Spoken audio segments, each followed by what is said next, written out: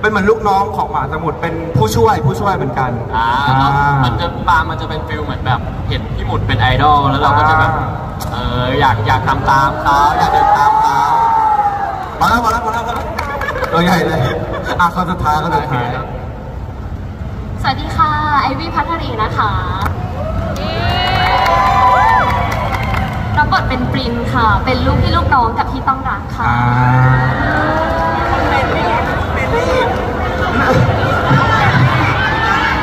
รู้ไหมสิ่งแรกที่อ่านนิยาย เรื่องนี้ผู้หญิงเยอะมาก เพราะจริงคุณต้องรักคนรอบตัวเขาเป็นเฮ้ยพูดไม่ได้อีกแล้วพูดมาเลยอ๋อกลับมากลับมากลับมากลับมา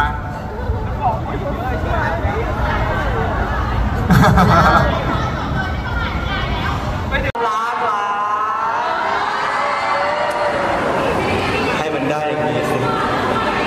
แล้วฟอร์ดรักพี่พีทไหม รักที่สุดในโลกเล